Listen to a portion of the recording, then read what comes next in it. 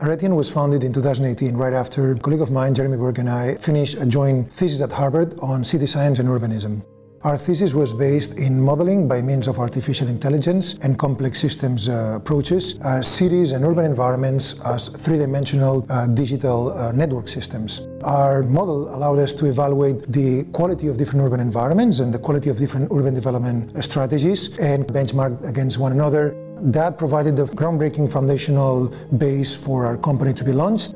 Aretian provides urban analytics and design uh, boutique uh, services to both uh, public administration and private clients around the world. We work with uh, city governments, metropolitan agencies, real estate developers, universities, technology firms to shape urban design and economic development strategies for their own projects. We also provide software development services for institutions to improve the quality of their decision-making processes when it comes to both urban development, uh, urban uh, and architectural design, and economic development strategies and we've been developing studies of urban environments and cities around the world. We've been covering, in a recent study, 100 metropolitan areas worldwide, including the major cities in Europe, as well as the major uh, global metropolitan areas around the world, including New Delhi, Cairo, Beijing, Shanghai, Hong Kong, Osaka. What makes our offering unique in, within the industry is that we've been able to replicate in a three-dimensional manner the morphological features of cities as well as the uh, economic and uh, human systems that uh, inhabit them, right?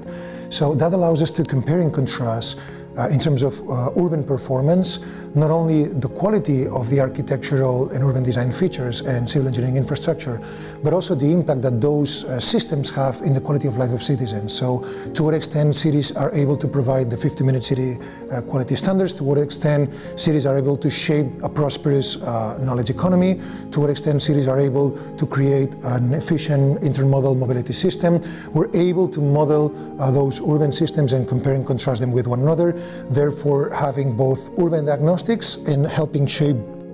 the design and the development strategies that are tailored for each and every city and context. So a couple of projects that are representative of our work Monterrey Innovation District in Mexico was an effort by the private university to shape uh, an innovation ecosystem around the university campus. And what we were able to do was to evaluate by means of artificial intelligence, complex systems, and machine learning what were the urban conditions uh, near the university campus and what were the right uh, type of urban design, levels of density, uh, building form, building massing, space programming, distribution of activities and zoning that would help support uh, the generation and nurturing of a successful innovation district in Monterrey Tech. We've been working with the city of Barcelona in order to shape the urban regeneration uh, process for 140 hectares in the eastern part of the city, in an area that has been neglected for the last 30 or 40 years, and contribute to the urban regeneration of five industrial clusters that became obsolete in recent years. We've been able not only to come up with, with a very detailed, rigorous understanding of the quality of the pre-existing urban environment, infrastructure environment, and economic base, but also how to shape the proper street design, architectural design, morphological design, zoning, placemaking, activity programming for the future innovation district to become a thriving and successful uh, knowledge economy environment in Barcelona.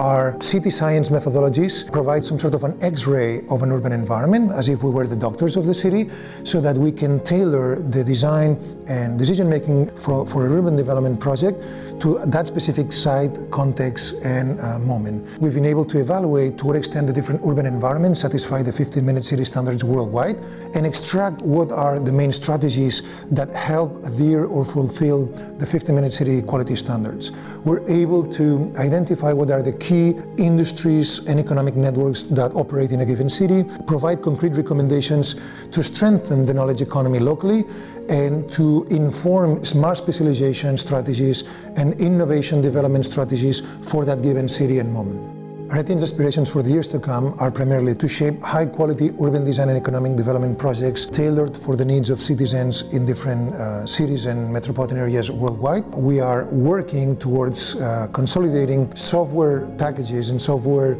offerings for uh, urban development leaders to improve the quality of their decision making in terms of the design strategies they need to pursue, the economic development opportunities that they can take advantage of, as well as tailoring the decision making processes that they will have to be addressing in coming years to the needs of the citizens and the, their constituents.